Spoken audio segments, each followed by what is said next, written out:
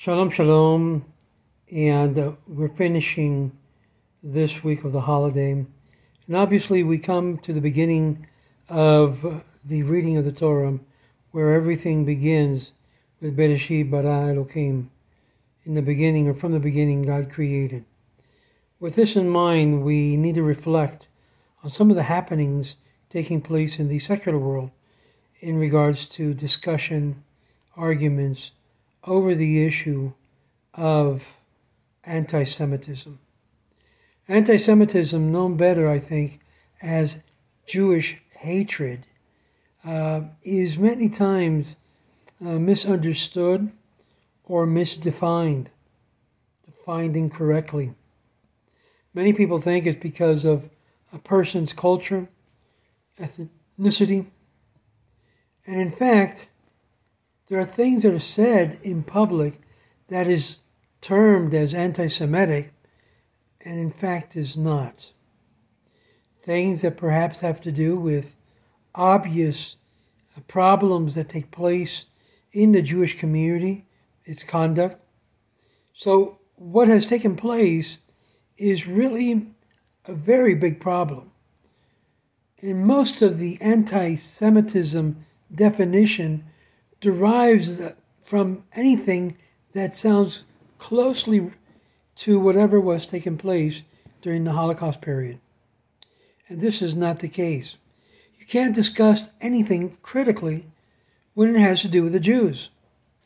If you do, you fall into the possibility of running afoul of being labeled an anti Semite. Well, first of all, even the expression anti Semite is a problem because there are a lot of people who are Semite and they're not Jewish. You have Arabs who are Semite, you have other people in the, in the Middle East who are Semites, but when it refers to uh, Jews or Israelis, technically speaking, they too are Semites, but it's not necessarily anti Semites we have issues with attitudes and conducts of behavior, and you begin to criticize that among our people, you may be labeled an anti Semite. If you go about and start saying Jews own the majority of the communication business, be careful, you may be labeled an anti Semite. If you begin to say that certain conducts and behaviors run similar to those who completely go against Torah values, you may be labeled an anti Semite. If you begin to say anything somewhat disparagingly or negative regarding a particular community's behavior and way of acting, you may be labeled an anti Semite. And how terrible could that be? It's almost as if you're, you're declaring the person and labeling the person a hateful person, a racist. And thus, we've taken the liberty in many of the different venues to hear people label other people as anti Semites when in fact they're not. They basically are just bringing about points of view that may be disturbing to you or to a number of Jews. For example, when I begin speaking about Jews who don't believe in Torah, who don't believe in the religious basis of what makes them a Jew, a Jew, many times they look at me and they say, You are dividing our people. You're an anti Semite. You are a Jew that hate Jews. And that's not the case. That would be the case, and all of our prophets were major anti Semites because they spoke very, very harshly upon the leaders and the people who were leading us as corrupt individuals. So let's make it very clear.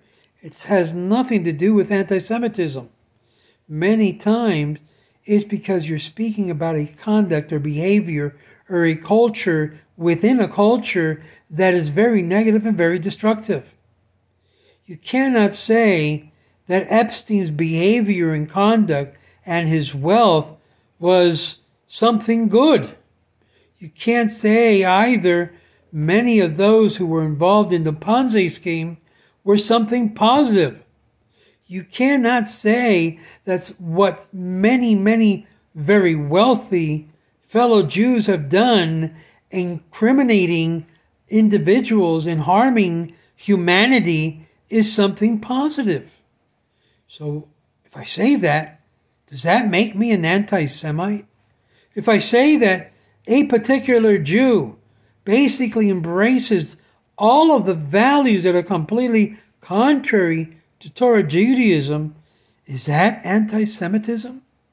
If I begin to speak up and say what the liberal leftist agenda is, is completely contrary to Torah value and Torah truth, is that anti Semitism? So, how far will we go to protect our fellow Jews and embrace them under the guise of atheism, agnosticism, and completely God hatred, God hatred of our Torah, and still say they are good Jews. We have to remove the mask that we have placed upon ourselves that have caused more harm to our fellow Jews than keeping it on. It's about time that we begin to talk about this topic because everybody is afraid of another another Holocaust taking place when the very perpetrators of the creation of a new Holocaust are the very liberal leftist Jews that are creating the culture and environment of doing that. And by me saying that, am I now an anti Semite, an anti Jew? My friends, let us be clear. Not all Jews behave like Jews. Not all Jews embrace the religious aspects of Judaism. And not all Jews feel comfortable when they are being spoken about because it brings them back to the time when our prophets would rebuke our people for behaving not like Jews, but as pagans. Think about that for a second. So today's Jews, a great number of them, are practical pagans, but disguised as religious or just regular Jews with no religious affiliation or little at that.